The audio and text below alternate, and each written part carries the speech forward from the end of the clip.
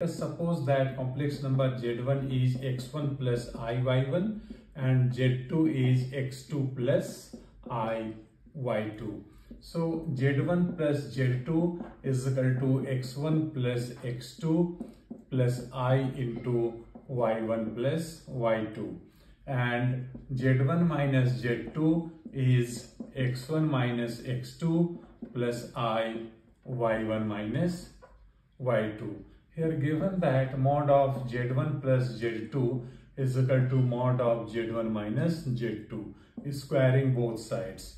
Here mod of z1 plus z2 whole square is uh, x1 plus x2 whole square plus y1 plus y2 whole square.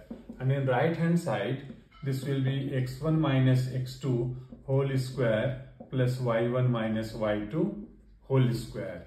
Simplifying it in left hand side we will get 2x1 x2 plus 2y1 y2.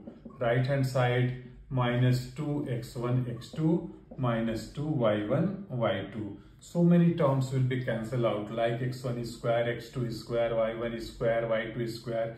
Cancel out from both the sides.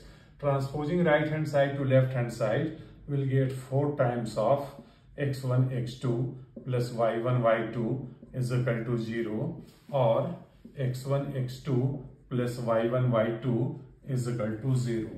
Now let us find amplitude of z1 minus amplitude of z2.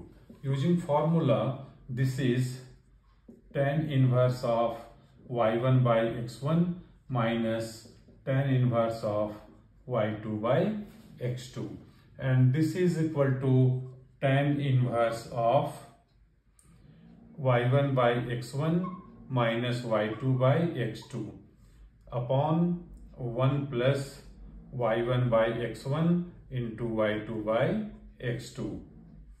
Simplifying it, we are getting this is equal to tan inverse y1 x2 minus x1 y2 upon x1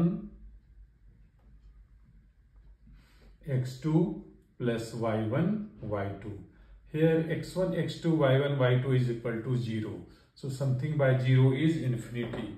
So finally we are getting tan inverse of infinity and tan inverse of infinity is pi by 2 so this is the answer pi by 2